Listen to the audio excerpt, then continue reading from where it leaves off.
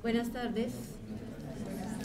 Eh, bienvenidos, bienvenidas a este espacio generado desde una iniciativa de la seccional ASPU UPN en el marco del diplomado sindical eh, que estamos eh, queriendo presentar como propuesta a la Universidad Pedagógica Nacional eh, con el apoyo del Instituto Nacional Sindical y nuestra seccional.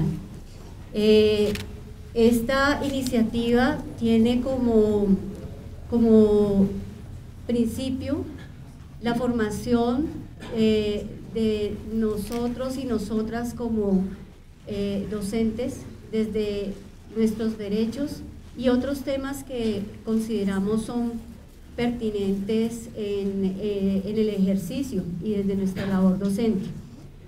Eh, para hoy eh, tenemos programado una sesión que le hemos llamado Mujer, Maestra Trabajadora y que también corresponde a esta fecha tan importante de conmemoración del el Día del Maestro y la Maestra en nuestro país.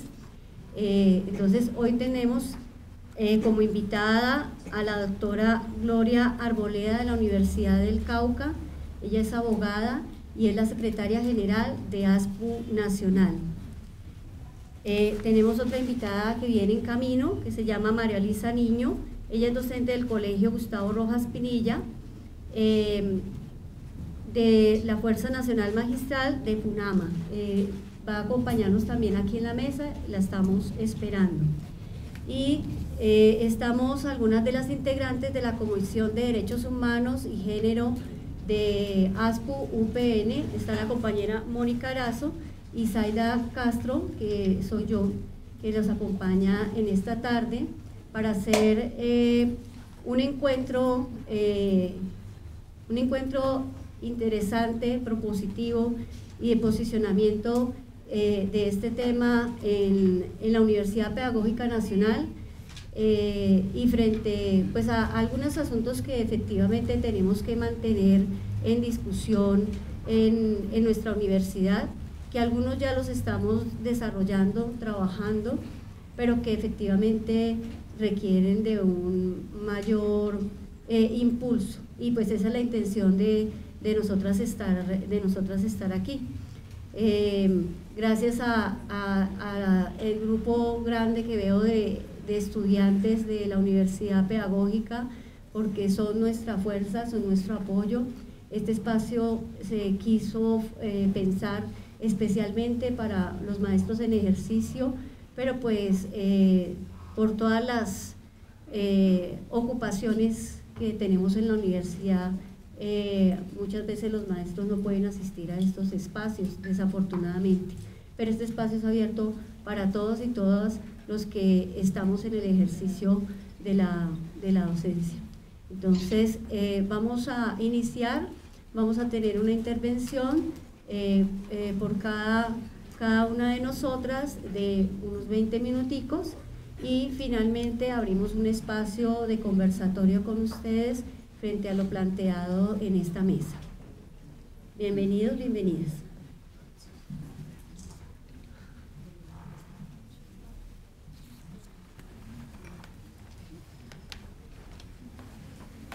Buenas tardes a todas y a todos, agradeciendo la invitación que me han hecho las compañeras y los compañeros de la seccional de ASPU en la Universidad Pedagógica.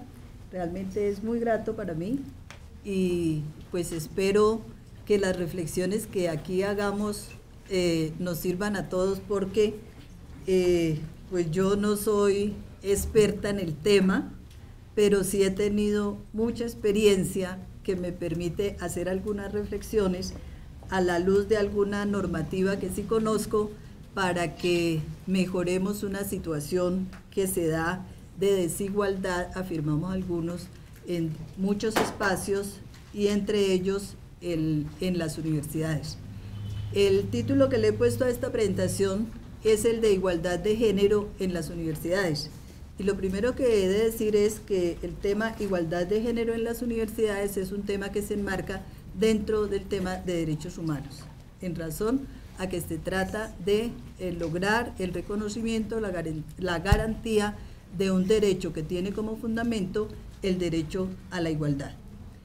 En, relación con este tema, pues en primer lugar hago un, marco, establezco un marco jurídico, eh, tanto a nivel nacional como a nivel internacional.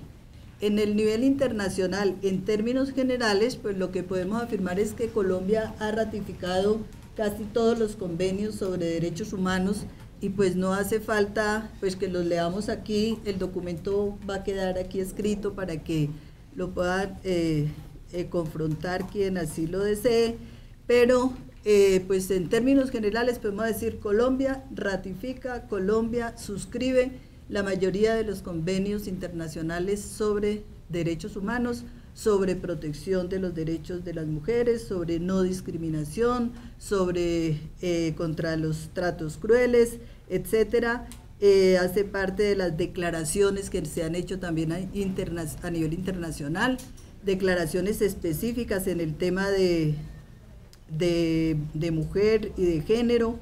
Eh, por ejemplo, para citar solamente algunas, las declaraciones 1976-1985, que fue considerado el decenio de Naciones Unidas para la Mujer, Igualdad, Desarrollo y Paz.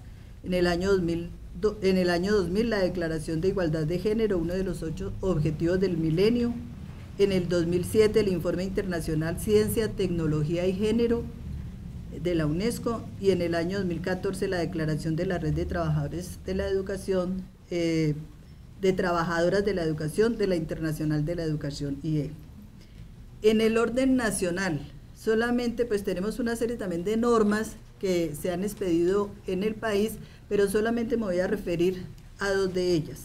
El artículo 13 de la Constitución Nacional, que es el que consagra el derecho a la igualdad, y lo voy a leer, yo sé que todos lo conocemos, pero lo voy a leer porque ese es el marco, el fundamento a partir del cual nosotros tenemos que plantear este debate. Todas las personas nacen libres e iguales ante la ley, recibirán la misma protección y trato de las autoridades y gozarán de los mismos derechos, libertades y oportunidades sin ninguna discriminación por razones de sexo, raza, origen nacional o familiar, lengua, religión, opinión política o filosófica. El Estado promoverá condiciones para que la igualdad sea real y efectiva. El papel del Estado. Y adoptará medidas en favor de los grupos discriminados o marginados. El Estado protegerá especialmente a aquellas personas que por su condición económica, física o mental se encuentren en circunstancias de debilidad manifiesta y sancionará los abusos o maltratos en contra de ellas. Y el artículo 69 de la Constitución Política en razón a que pues me voy a referir a, las, a esta situación de igualdad de género en las universidades y como todos sabemos el artículo 69 de la Constitución es el que consagra la autonomía de las universidades como facultad para eh, autodirigirse, autogobernarse y autolegislarse. En el plano específico, pues eh, relacionado con mujeres, la ley 1257 del 2008, el Plan Nacional de Educación en Derechos Humanos y el decreto 4798 del 2011, que es pues la norma más reciente eh, a la que se le, le he hecho yo seguimiento, dice por el cual se reglamenta la ley 1257 y se refiere específicamente a educación superior. Y en cuanto a educación superior dice lo siguiente, el Ministerio de Educación Nacional promoverá, especialmente a través de programas de fomento, que las instituciones de educación superior en el marco de su autonomía A generen estrategias que contribuyen a sensibilizar y capacitar a la comunidad educativa, especialmente docentes y estudiantes, en la prevención de las violencias contra las mujeres. B incluyan en los procesos de selección, admisión y matrícula mecanismos que permitan a las mujeres víctimas de violencias acceder a la oferta académica y a los incentivos para su permanencia. Y C, adelanten a través de sus centros de investigación líneas de investigación sobre género y violencias contra las mujeres. Entonces, dentro de ese marco jurídico, entonces hago una reflexión que planteo que es una, una reflexión necesaria aún para legos, porque repito, pues yo no soy experta en el tema. El género es la construcción cultural de lo que significa ser hombre y ser mujer en una sociedad determinada. La idea que cada uno de nosotros tiene sobre el género es adquirida, es decir, aprendemos a ser mujeres y a ser hombres a través de la socialización. Como idea adquirida también es transformable, varía según la época histórica, según el modelo de sociedad y a lo largo del ciclo vital. Dada la desigualdad de distribución del poder y las relaciones asimétricas que se dan en la sociedad entre hombres y mujeres, la violencia ejercida contra las mujeres por el hecho de ser mujer ha sido entendida comúnmente como violencia de género, aunque realmente el término hace relación a todo acto de violencia física o psíquica ejercida sobre una persona en consideración o teniendo como móvil su género. La máxima expresión de la violencia de género es el feminicidio, tipo penal que, has debido ser, que han debido adoptar las sociedades tratando de frenar las, los múltiples casos de homicidios ocasionados a las mujeres por su condición de tal. Este es un tipo, es novedoso el tipo penal de feminicidio y es debido a esa situación que es un hecho. La discriminación de género, que es la otra categoría, una, una estamos hablando de violencias, pero también de discriminación de género, implica que no se garantiza iguales derechos, responsabilidades y oportunidades a hombres y mujeres. Actualmente en nuestra sociedad la discriminación de género se puede observar en la discriminación laboral, que se refleja en las diferencias en cuanto a posibilidades de acceso a los puestos de trabajo. Acceden más los hombres que las mujeres al mundo del trabajo formal. Estadísticamente está comprobado. En cuanto a las condiciones salariales, los salarios que se paga a las mujeres son más bajos que los que se paga a los hombres. Se refleja también en las dificultades que se presentan a las mujeres para el acceso a ciertas posiciones laborales en los diferentes espacios de trabajo, en la sobrecarga laboral que tienen las mujeres al tener que asumir dobles y hasta triples jornadas de trabajo, que incluye el trabajo remunerado o que les permite un ingreso económico, el trabajo de cuidado y crianza de los hijos, las labores domésticas y el cuidado de los mayores adultos. Trabajos estos últimos que tradicionalmente se ha asumido que son responsabilidad de las mujeres y no tienen remuneración alguna. La equidad de género implica la construcción de condiciones y relaciones justas e igualitarias entre hombres y mujeres para el ejercicio de la ciudadanía plena y como una garantía de los derechos humanos de las mujeres tanto individual como colectivamente. La formación del niño en la familia y en la escuela es determinante, pero no suficiente para lograr la igualdad de género. Incluso muchas veces en estos espacios se refuerza la formación machista. Para avanzar en la equidad de género se requiere la adopción de políticas, de políticas públicas, de proyectos y programas de desarrollo del nivel nacional, departamental, municipal e institucional que incluyan la equidad de género de manera transversal, tanto en su planeación como en su implementación y evaluación. La equidad hace relación al trato diferencial y en ocasiones preferencial que requieren los grupos en razón de su situación especial, de diferencia o desventaja, para garantizar la igualdad en el disfrute de sus derechos. En este caso, para garantizar la igualdad entre las mujeres y hombres. Para ello, se ha hecho necesario implementar acciones afirmativas o positivas, tanto a nivel internacional como a nivel nacional. Se han expedido adoptados convenios y recomendaciones internacionales. Se han expedido normas nacionales, como la ley de cuotas, por ejemplo, o los programas dirigidos a las mujeres jefas de hogar, con el fin de que puedan llegar en las mismas condiciones del resto de los ciudadanos. Sin embargo, no ha sido suficiente pedir normas para garantizar los derechos de las mujeres. Se siguen cometiendo actos de discriminación y de violación contra las mismas.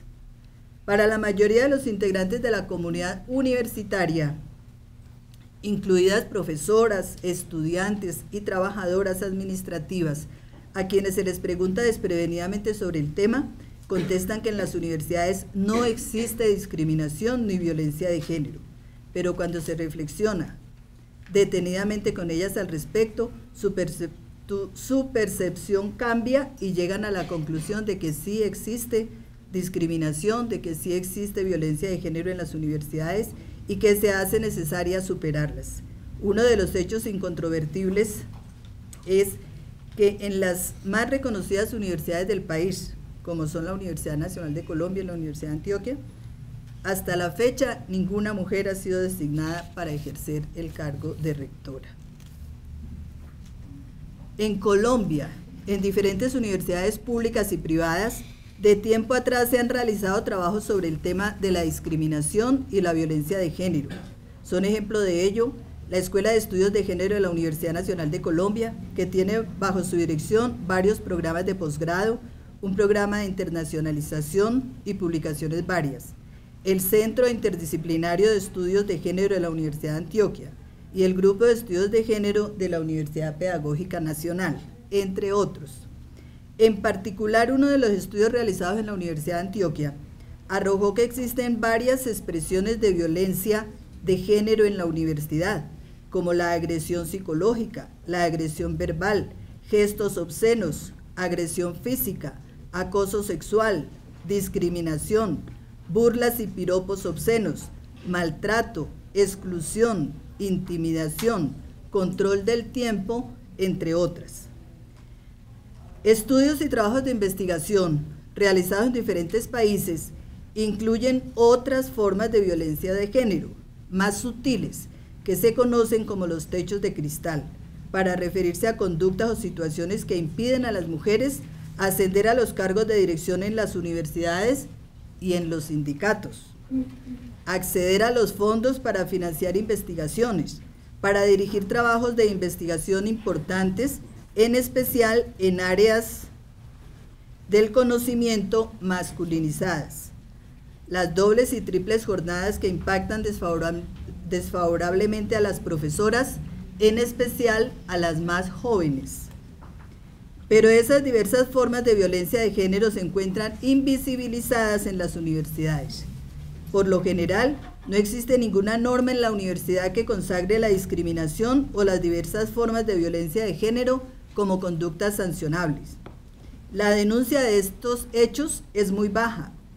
Las pocas denuncias que se hacen no arrojan resultados satisfactorios en cuanto a definir responsables o a imponer sanción. Al contrario, en muchos casos se promueve al implicado a cargos de dirección para impedir el avance de las investigaciones y así, entre comillas, proteger la imagen institucional. Sobre el qué hacer frente a esta problemática, los principales investigadores coinciden en que se requiere visibilizarlas y definir una política de equidad de género en las universidades. En la, Asociación Sindical de Profesores Universitarios ASPU hemos adoptado entre las tareas centrales trabajar por la igualdad de género en nuestras universidades y en nuestro sindicato. La propuesta es, 1 visibilizar la discriminación y la violencia de género existente en las universidades y en el sindicato. Dos, exigir que se define en cada universidad una política de equidad de género que comprenda a medidas educativas como campañas, foros, cátedras específicas que permitan reflexionar y debatir sobre el tema y tomar colectivamente medidas que permitan superar las conductas sexistas en las universidades. B. Medidas disciplinarias, orientadas a corregir las conductas de discriminación o violencia de género, las que deben ser consideradas falta disciplinaria. C. Medidas de valoración de la problemática, como crear espacios de recepción de las denuncias que permita cuantificar e identificar las formas de violencia de género al interior de las universidades. Y E medidas académicas orientadas a incentivar las investigaciones sobre igualdad de género en las universidades y en el sindicato. Tercero, eh, de las actividades que nos hemos propuesto, estamos proponiendo incluir la solicitud de adoptar una política de equidad de género y las medidas puntuales para superarlas en los pliegos de, de, peticiones que estamos presentando en cada una de las universidades, para que sea parte de la negociación colectiva.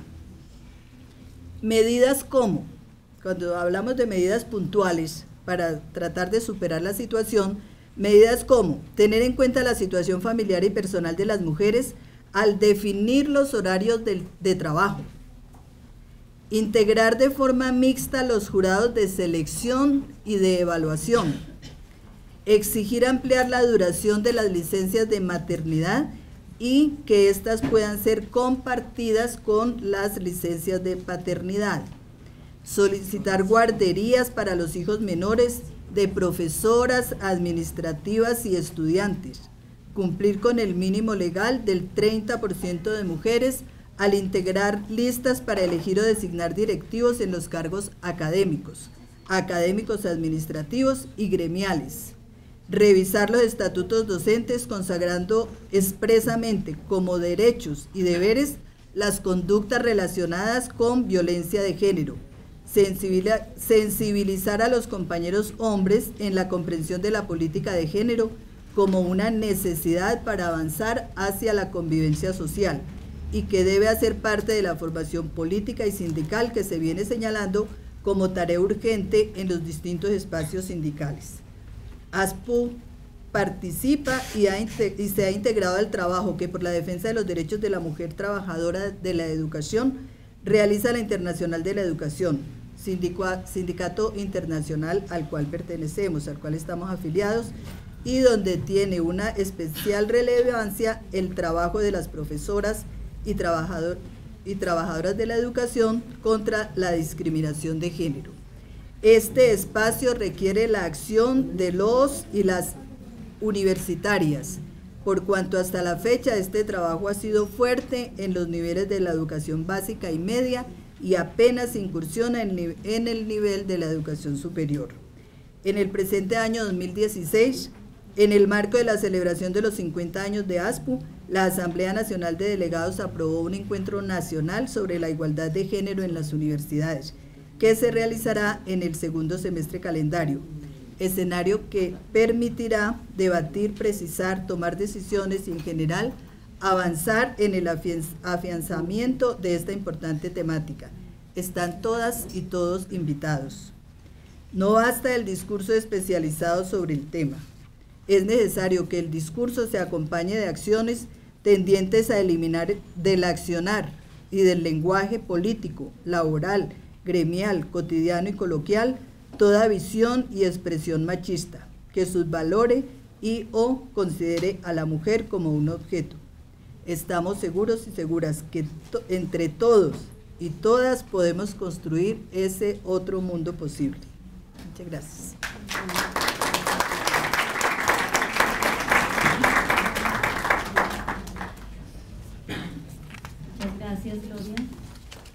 Eh, olvidé mencionar que em, eh, durante esta semana eh, hemos programado estas, estos paneles, estas charlas con distintos temas. El día de ayer estuvimos en un encuentro sobre derechos laborales en donde intervino Milena Ochoa del Instituto Nacional Sindical Carlos Cañón, presidente de ASPU-UPN, y Domingo Tobar, expresidente eh, de la Central Unitaria de Trabajadores, nos acompañaron ayer.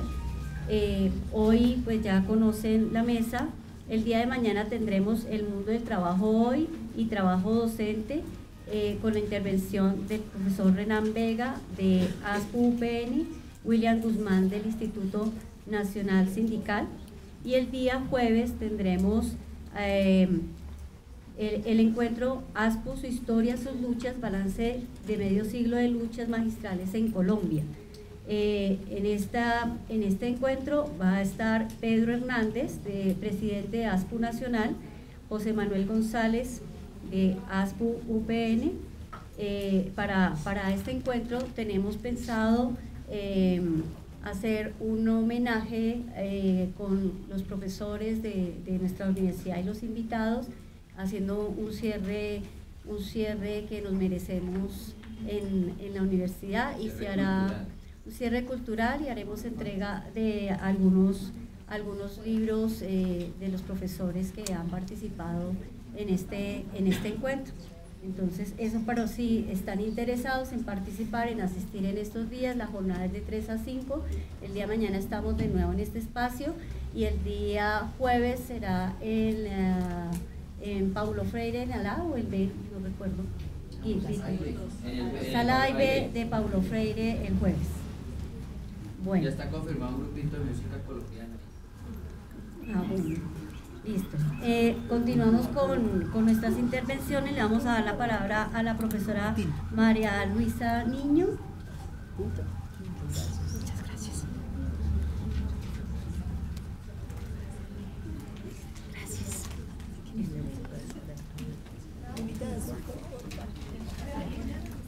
Te robo una soquita. A todas y a todos. Eh, Agradezco a quienes organizaron este espacio, esta posibilidad de compartir la palabra con ustedes, eh, las posibilidades de denunciar y denunciar nuestra situación como mujeres docentes, formando parte pues de, esa corriente organizada de maestras y maestros. En, en este momento estamos en la Fuerza Nacional Magisterial, FUNAMA, es una organización muy reciente, conformada principalmente por maestras y maestros nuevos del llamado de la división que nos hizo y nos hicieron del 1278, la gran mayoría.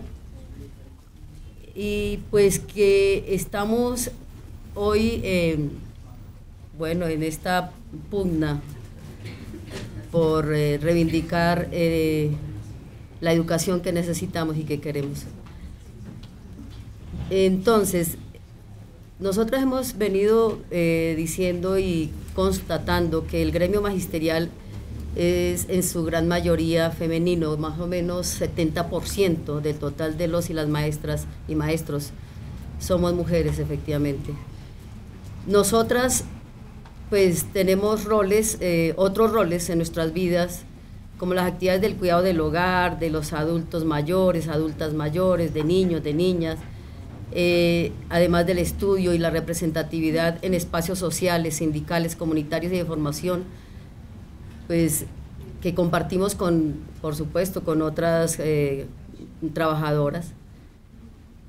Esos roles, toda esa carga que nos impone, se nos impone en una sociedad patriarcal y machista, pues hace que las condiciones laborales eh, pues fluctúen de mínimas a ningunas, siendo el trabajo decente, pensado, pero la verdad no ejecutado. Eh, si tenemos en cuenta el concepto del trabajo decente de la OIT, que dice que este sintetiza las, eh, las aspiraciones de las personas durante su vida laboral, significa la oportunidad de acceder a un empleo productivo que genere un ingreso justo, la seguridad en el hogar de trabajo y la protección social para las familias, mejores perspectivas de desarrollo personal e integración social, libertad para los individuos e individuas para que expresen sus opiniones, se organicen, participen en las decisiones que eh, afectan sus vidas y la igualdad de oportunidades y trato para todas y todos, mujeres y hombres. Muchas de las consideraciones del mismo se ponen en juego debido a la falta del cumplimiento legislativo y el reconocimiento consciente de la mujer en el mercado laboral. En cuanto al gremio magisterial, donde ya dijimos, el 70% somos mujeres, se puede decir que las políticas que se imponen pesan más gravemente sobre nosotras que compartimos con las demás el rol de madres, esposas, lideresas, no todas, algunas muy pocas, pero sí lo tenemos en este, en este país. Eh, entonces el enfoque o perspectiva de género es una forma de observar y analizar la realidad que nos permite visualizar y reconocer la existencia de esas relaciones de jerarquía, de desigualdad entre mujeres y hombres, que se expresa en subordinaciones, discriminaciones, en, relación, eh, que, en la relación que establecemos. La, la perspectiva de género reconoce esas relaciones de poder, que en general son favorables en la escuela, en los colegios, pues ya veíamos que en las universidades también, a los maestros, a los niños, a los jóvenes, a los directivos y a los padres. Eh, uno ve que en las reuniones, por ejemplo, no, no son los padres varones los que llegan, en su gran mayoría son las mujeres, eh, que los espacios de recreación los ocupan eh, grandemente los, los niños y las jóvenes, no las niñas ni las muchachas, que en su gran mayoría eh, hay es rectores, no rectoras, igual coordinadores, una mayoría de coordinadores hombres, mucho menos coordinadoras. Eh, en ese sentido, pues hay un grupo social eh, que, somos las mujeres, niñas, las muchachas, las coordinadoras, las rectoras y madres que tenemos pues un trato eh, discriminatorio en cierta medida. En un colegio donde hay 75 eh, personas trabajando, de las cuales 20 son hombres y, el, y 50 mujeres, y hay un solo baño para las mujeres un solo baño para, y un baño para los hombres. Entonces, por ejemplo, allí hay un trato discriminatorio, no se tienen en cuenta esas condiciones. Eh, bien, también es claro que hoy en día las mujeres tenemos mayor acceso al sistema educativo, mayores posibilidades de acceder al empleo, pero igual necesitamos de niveles mayores de estudio que los hombres para desempeñar los mismos cargos y su participación en las esferas de poder político es mucho menor. Ya nosotros participamos mucho menos. Para el caso del magisterio podemos preguntarnos, por ejemplo, cuántos son rectoras, ¿Cuántas de nosotras presiden el sindicato, por ejemplo, la FECODE? Yo no sé si ustedes saben cuántas mujeres presiden la FECODE. ¿Alguno sabe? Ninguna. Muy bien, ninguna. Son 15 hombres presidiendo la Federación Nacional de Educadores, la Federación Colombiana, uno de los sindicatos más grandes del país y más fuerte y más poderoso, pero en la cual no tenemos voz ni cabida las mujeres. Eh, y bueno, y cuando alguna llega, por, el, eh, por ejemplo en el caso de la ADE, pues no son las mujeres las que presiden, el sindicato, la Asociación Distrital de Educadores está presidida por un hombre. Ahí hay allí cuatro mujeres, si no me equivoco. El resto son hombres y la preside un hombre. Y como decimos, el 70% somos mujeres. Eh, esos son, son casos que, que tenemos que mirar con cuidado en el siglo XXI. Bien, pese a este fenómeno, los datos del Observatorio Laboral para la Educación muestran que en general las recién graduadas que trabajan como dependientes ganan 13.7% menos que los hombres que también se graduaron en el 2012. Eso es según el Ministerio, un estudio del Ministerio de Educación Nacional. Por otra parte, las diferencias de género inciden en la escogencia del área de estudio, presentándose una brecha salarial. Las mujeres escogen las áreas de educación, 12.4% mujeres y 7.5% hombres escogemos esas áreas, las cuales en Colombia reciben bajos salarios. Eh, como la ministra anterior decía que ganábamos pues, en promedio 2.5 millones, cosa que es falsa. ¿no? En contraste con la escogencia de los hombres en áreas que suelen ser mejor remuneradas como la economía, las ingenierías. Eh, en, ingenierías, por ejemplo, el 18.7% son mujeres, 41.8% son hombres.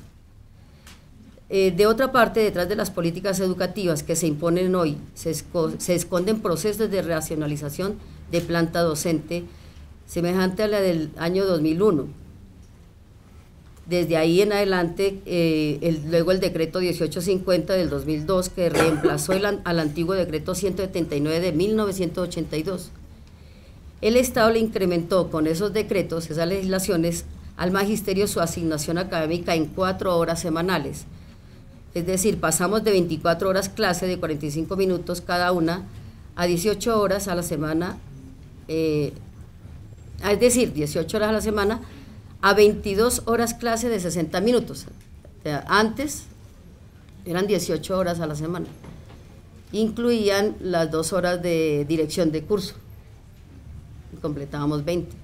Ahora son 60, 22 horas de 60 minutos. Igualmente con la eliminación de las cuatro horas de descarga que el decreto 179 de 1982 le hacía a los directores de grupo, ya, lo había mencionado, con eso cuántos docentes se ahorró eh, el Estado. La disminución de la planta docente en mínimo de unos 25 mil educadoras y educadores, más el decreto 100, eh, ¿qué? Perdón, 1655 del, del 2015 por el cual se adiciona el decreto 1075 del 2015, juntos del 2015, único, el decreto único reglamentario del sector educativo para reglamentar el artículo 21 de la ley 1562 del 2012 sobre la seguridad y salud en el trabajo para los y las educadoras afiliadas al Fondo Nacional de Prestaciones Sociales del Magisterio y se dictan otras disposiciones, disposiciones el cual no es un mecanismo representativo de las necesidades actuales en materia de salud de sus afiliadas y afiliados. Ya ustedes saben el negociazo que se están haciendo con eh, la, salud, pues fundamental, la del magisterio ni se diga, ¿no? También, no sé si conocen la lucha, por ejemplo, de sindicatos como el como Azoinca en el Cauca, que decidieron eh, pues darse, hacer una huelga, un paro, regional para exigirle al gobierno que la, salud la manejaran ellos de manera mancomunada en un fondo, como parte del fondo en una propuesta solidaria de, de, digamos así, de empresa solidaria. Eh, dado que definitivamente todas las ganancias que está eh, llevándose de, nuestros bolsillos, de los salarios de los, del magisterio, pues van a parar a bolsillos privados. Eh, lo que sigue dificultando aún más la prestación de los servicios obligatorios en materia del derecho a la salud y el incremento de las enfermedades de carácter psicológico por estrés laboral que afectan mayoritariamente a mujeres, pues son quienes tenemos que soportar, además de las cargas laborales propias de nuestra profesión, las cargas domésticas cargas físicas y emocionales además. Por lo anterior se requiere tener una mirada crítica, reflexiva y propositiva con perspectiva de género frente a las políticas públicas, principalmente en las reformas laborales. Igualdad de derechos laborales para la mujer trabajadora, prerrogativas para su trabajo, especialmente la maternidad o madre cabeza de familia, derecho al trabajo y remuneración igual a la del hombre cuando desempeñan el mismo trabajo, protección a la maternidad, ampliando el periodo de lactancia y el de paternidad, prohibición de los despidos por estado de gravidez, castigo al chantaje y al abuso sexual de empleadores y patronos o jefes inmediatos en el caso del magisterio.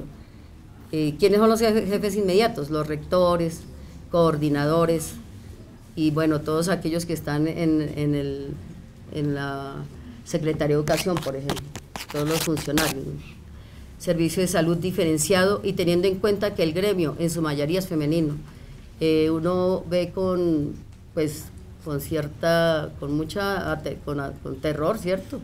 Que no se cuenta sino, por ejemplo, con un solo ginecólogo, ginecólogo para atender a yo no sé cuántas maestras aquí en la, en la clínica Ferman, ¿sí? Y que no hay especialistas. Para, por ejemplo, el cáncer del seno, no hay sino uno, un oncólogo. ¿Y cuántas mujeres somos? Entonces, eso hace que realmente el, problema del estado de, salud de femenino sea mucho más grave. Eh, ahora en cuanto a la, participación y la representación, aquí en la perspectiva de género eh, nos permite, pues a través de las búsquedas e investigaciones que, podríamos hacer y ya se han hecho, con todo el aporte de la ciencias sociales en especial, en especial pues mirando las desigualdades en, esas relaciones entre hombres y mujeres y para explicar cómo se da la opresión contra las mujeres, la dominación masculina, como el resultado de este modelo patriarcal. Eh, abordar esa perspectiva de género en nuestras comunidades, organizaciones, es una tarea compleja, pero además eh, bastante, diríamos, señaladora de, de nuestras propias de parte de nuestros propios compañeros y compañeras, quienes a veces hacen chistes, eh, discriminan y bueno, en fin, uno allí tiene que darse la pela, pues como mujer lideresa, con los compañeros que dicen ser de izquierda y forman parte de la organización sindical. Pero igual eh, esa perspectiva hay que aplicarla, hay que eh, hacer de ella una, una herramienta de trabajo si queremos sociedades distintas. Hay que poner sobre la mesa aquellas desigualdades que nos dividen, excluyen y dominan para crear posibilidades de interlocución, debates y diálogos horizontales que nos permitan avanzar en la construcción de caminos posibles, donde cuestionemos nuestros papeles, nuestros lugares y privilegios, si es que los tenemos, con el fin de construir nuevas relaciones. Estas desigualdades y exclusiones que se expresan